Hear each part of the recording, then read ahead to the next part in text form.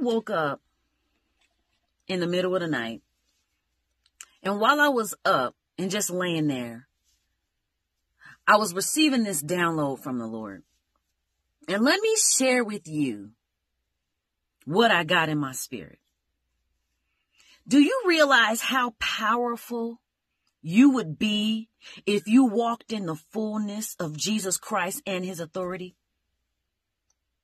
We are not living out our full potential in Jesus.